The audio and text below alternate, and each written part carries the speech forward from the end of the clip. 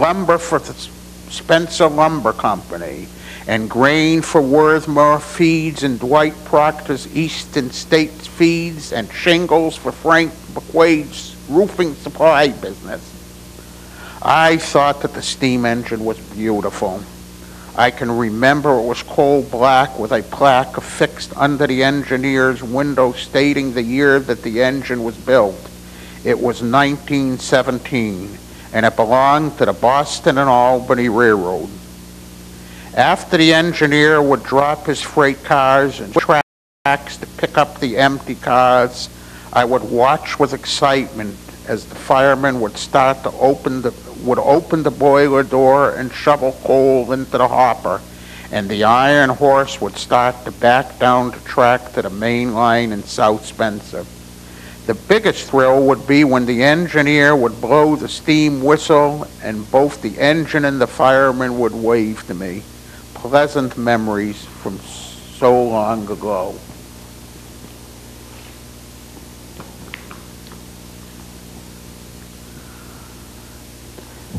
Towards the end of 1932, an operating plan was established to nurture Civin Specialty Shop into a reality.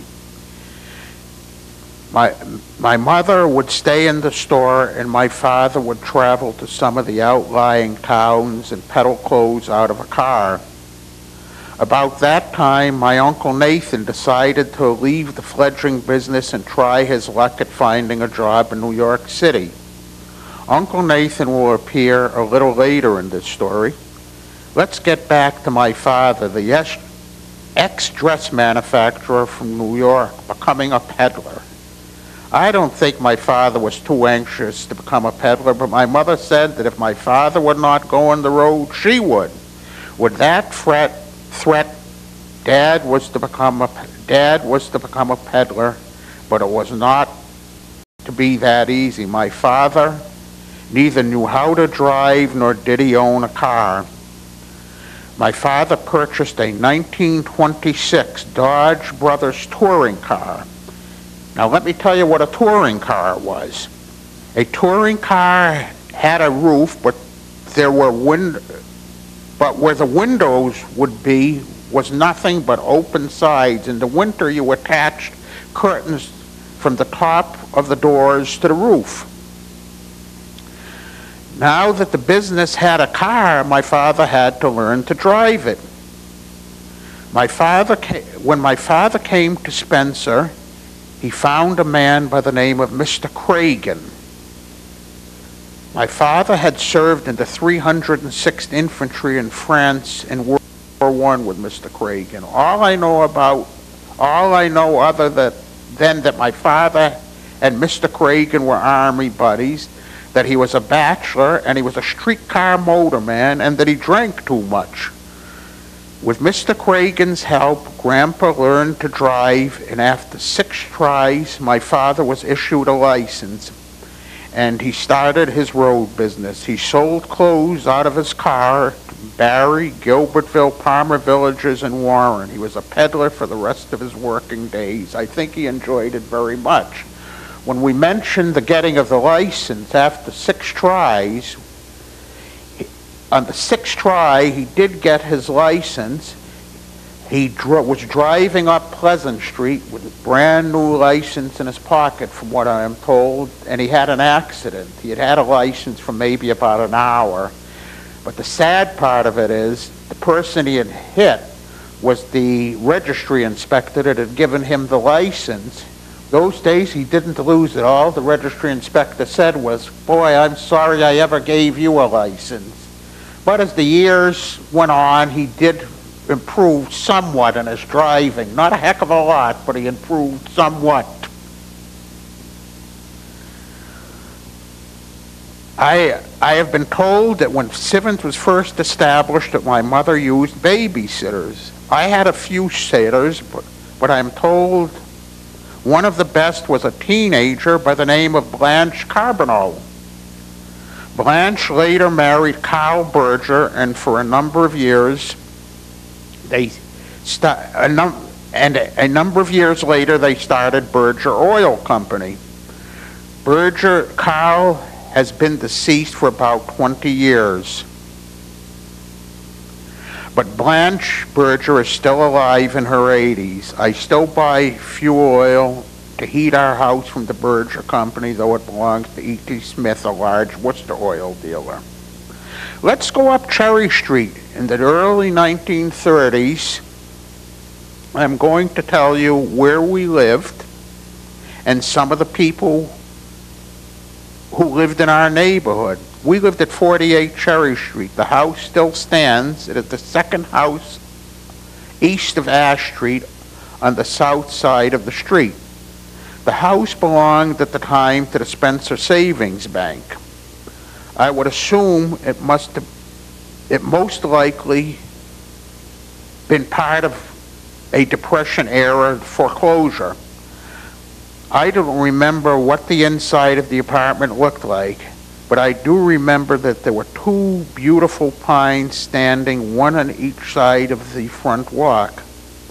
I believe the, one of the pine trees became victims of the 1938 hurricane. But 70 years later, if you go up Cherry Street and look at 48 Cherry, one of the pine trees is still standing. We lived on the first floor. On the second floor lived Frank Kimball and his wife Florence and two sons. Paul, about a year younger than my brother Bob, and Lawrence, a red-headed kid with a Dutch cut, was about a year younger than I was. Frank Kimball was employed as a farmhand in Sibley Farms. Sibley Farms was located where Ragsdale Chevrolet is today. Florence Kimball, I am told by Jane Gray, is still very much alive and in her 90s. On the third floor, Mr. and Mrs. Buster Shamble occupied the third floor at 48 Cherry Street. Buster and his wife were childless, childless, not childless, and he earned his living on a door-to-door residential bread route for the Wholesome Bread Company. The house below us on the corner of Ash Street belonged to Walter Prouty. Walter Prouty served as treasurer of the Spencer Savings Man Bank. On the second floor lived Mr. and Mrs. Tripp, the retired Spencer postmaster, and their daughter Eleanor. Eleanor, I remember as being in her 20s and always wearing riding apparel. The house on the other street of us belonged to Mrs. Mary Porter. Mrs. Porter was considered by many to be the richest person in town.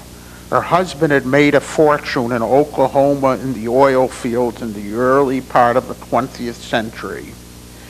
She shared her home with her sister Emma Birch and her full-time maid Myrtle.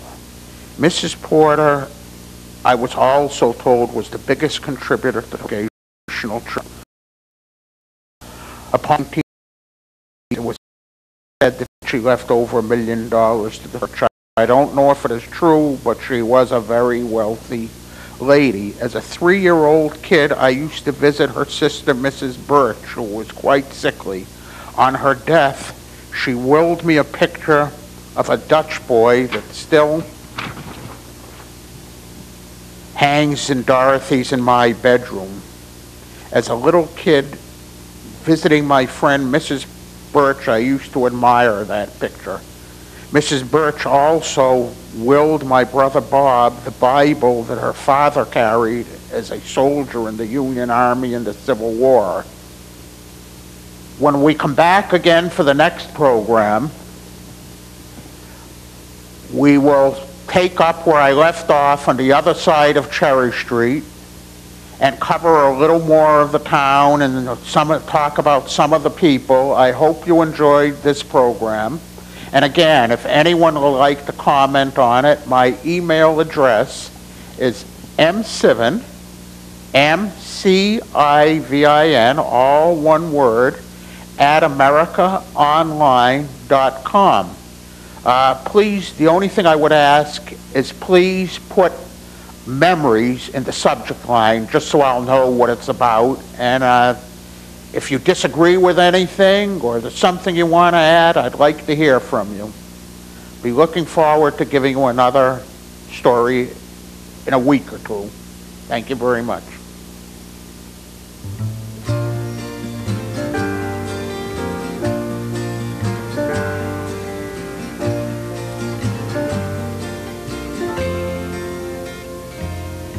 There's a town in New England with a pond on the north end and a dusty old dead end where my Marie lives.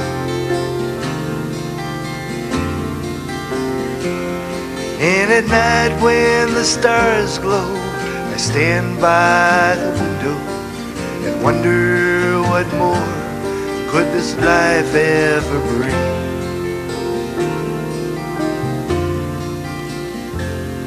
There's a boat by the old dock, a slow moving wall clock, and a front door left unlocked should neighbors drop by.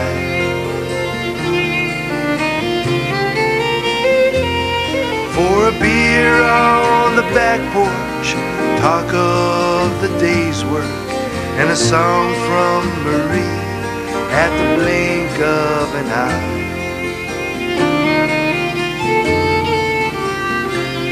There's a waltz for the seasons, tunes for the times. They all seem to be passing by.